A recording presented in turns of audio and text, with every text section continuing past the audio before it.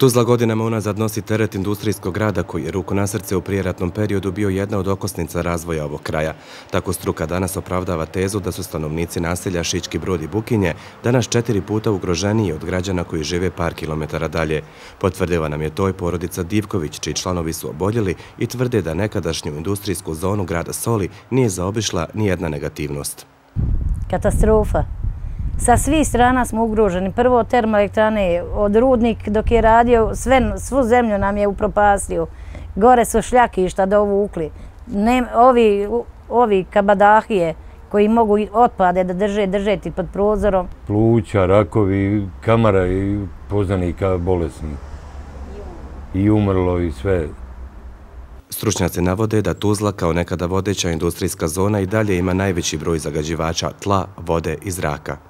Zrak je zagađen, glavni izvor je, da kažemo, termoelektrana, što nam je opće poznato, i rudnici, ali isto tako i hemijska industrija. Prijekodno je naravno bio, ovaj, bila i elektroliza, mi imamo i u haku elektrolizu i iz toga kako je to trajalo godinama, mi imamo i zagađeno tlo. Divkovići nam dalje kažu da je problem zagađenja u svim sferama najizraženiji u ljetnom periodu u baštu kad odeš ono da pobereš svoje vidiš na njemu da ima čađe na tim plodoma.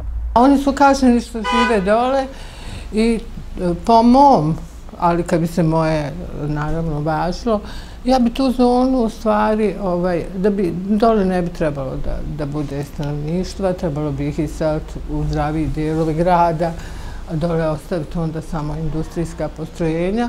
Za realizaciju ovog projekta potrebno je na desetine miliona maraka. Nekog drugog rješenja na pomolu za sada nema. Dok se ne pronađe, stanovnicima Šičkog broda i Bukinja ostaje samo nada da će jednog dana udisati čist zrak i manje strahovati za zdravlje.